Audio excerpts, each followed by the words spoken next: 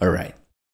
Now that we know how to work with arrays, let's try to organize our data in something called an object.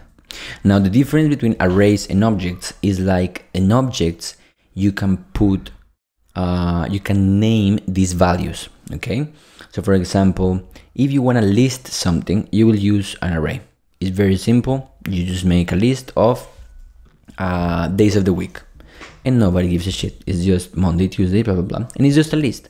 And if you want to get the first one what you do is you come here and you say zero. You want to get the second one blah blah blah and you're good to go okay?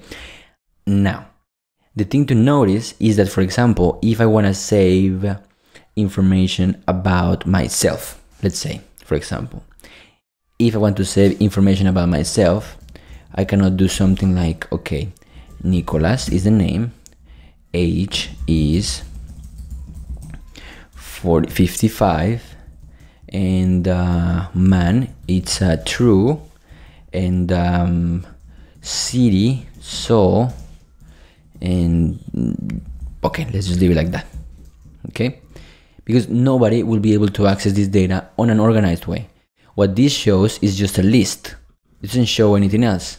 Let's do here Nico info. Fuck. Nico info. I really hate the MacBook, the Magic Keyboard. Sucks balls. Alright, so I have Nico info and I can list Nico info, but it's not organized on the way that I want. If I want to say, yo, what is his name? I have to remember that the name was on the first one. Oh, okay, so it's on the first one, so I have to say zero, and then I will get his name. And this is not efficient, okay? This is why we invented something called objects, okay? So as we declared arrays, how we create arrays is by using this thing, okay? These two brackets, these are called brackets, I think. To declare an object, all we have to do is just make curly brackets. I think the name curly brackets braces, no, whatever. Okay, this is how you create an object. And objects, they don't behave like arrays. I mean, you cannot just do this. I don't know, maybe, I know JavaScript. No, there is a problem. You see, it's not an array. The thing about objects is that you can make an actual object. This means you can put labels on the data that you want to save. So instead of just making a list of something, what you can do is actually do something like this. Name, Nico, age, all right, uh, gender, male, is handsome, handsome, true all right? And now if we run this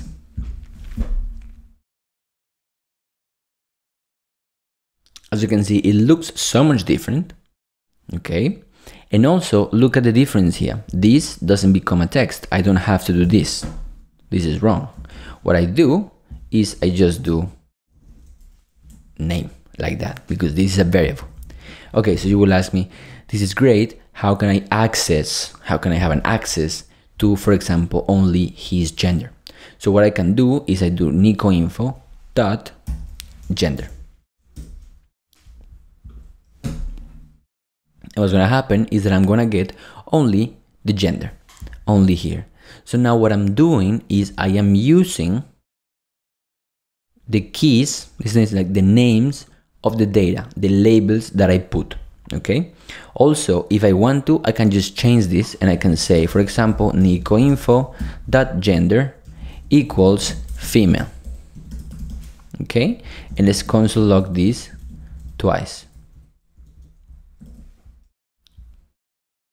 Let's just do this and first it should be male and then it changes to female okay? Now this is something very interesting about javascript right now. Look at what happened here.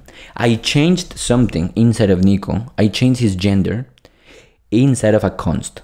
So i cannot change what const nico info stands for. I cannot say for example nico info i cannot say nico i see one nico info equals true because that'll be a problem but what I can do is I can change the values inside of him and that is not, that is not a problem okay So these are the two ways that we can um, save and organize data. One is with arrays, and the other one is with objects. Usually, when you want to just list stuff, you will go for arrays. If you want to list results from a database, you will go for an array. If you want to, for example, combine them together, what you can do is, for example, you can have an array of many people, and this means that you can have an array of many Nico info. In this case, you can I can be there many times. That will be an array of many Nico info. You can make Nico info, Lean info, um, Dal info, Japan guy info, and that means that you can just combine them together. So you can put an array, sorry, you can put an object inside of an array. And also, I forgot to mention this, also you can put favorite movies. Um, I saw a movie yesterday that made me cry, Along the Gods. I think it's Korean movie. And also as you can see here, what I can do is the Lord of the Rings. I can just put an array inside of an object and that is not a problem. Completely okay. That's completely okay. And I can do along with the gods and fuck the Godfather. No, I watched it long ago. All the boys, kinda cool. Alright. And also what I can do is let's do this and let's say um oh shit uh, uh, uh, uh, favorite food for example let's make an array of objects so i'm to create my first object and this one will be name will be favorite food let's say i don't know how to type samgyeopsal so kimchi and then i'm to say uh, is it fatty uh, false and i'm to make another object and I'm gonna say name. Um, I don't know, cheeseburger. I don't like it, but it's just I don't know anything else. Cheeseburger. And I'm gonna say, is it fatty? Hell yeah, true. Okay, and now I'll save. Can I format this thing? Yeah, it will make it more pretty this way. Let's see how this looks without being weird. No, you know what I can do? What I can do is just make it look like this.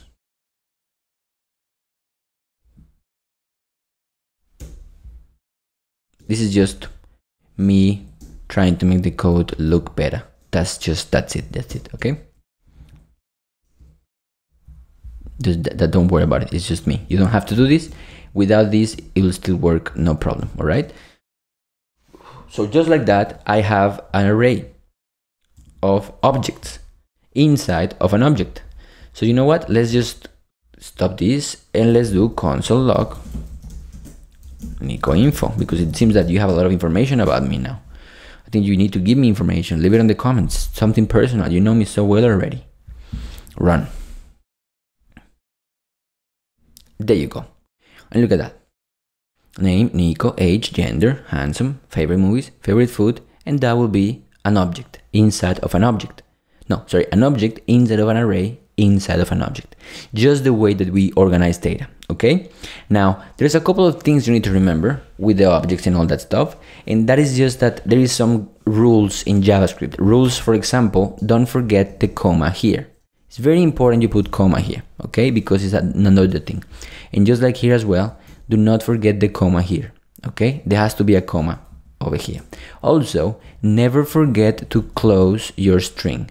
If you don't close your string, it will be weird because then this will be a string this will be text text text text text text until here will be text and then these wouldn't be text and then these will be text and then it will be just weird so just remember to close it when you use something like visual studio code or you use something like atom or you use something like what I'm using, the colors of the word changes. So that can give you a little bit of a clue to think, okay, maybe I'm fucking up here. And also, for fuck's sake, just read the console log. I just removed this comma over here. Let's see what happens. Because if you read the errors, it will always work. It says unexpected identifier. But it doesn't tell me where, motherfucker. Let's see. Here it is. On the Google Chrome console, if you do this on the if you do this on the um, Visual Studio Code, do not worry about this. This is because I have ad block. But look about this. One second.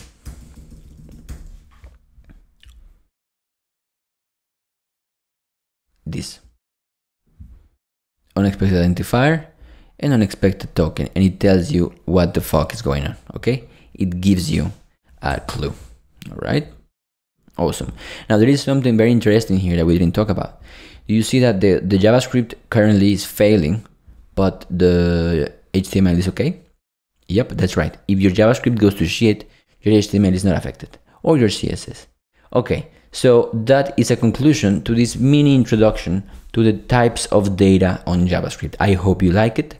And now on the next video, we are going to actually do some logical stuff. Right now, we haven't done anything logical. We just learned the data types, some rules for grammar of JavaScript, and how to organize the data into arrays and into objects. Okay, now if you want to practice, go ahead and do, do some practicing, add some stuff, create some objects, console log them, and see, for example, if you can access them like me. I'm to say favorite food here I want to get the first one and I want to get that if it's fatty or not. Fatty. Okay, just as an example. So go ahead, try it, and let me know how it goes. Try it, make experiments. Don't just look at this and tell me, okay, it works. Do something like I'm doing and make mistakes. Okay, see you on the next one where we are going to start using uh, data types to do some logical stuff. Okay, so see you there. Bye bye.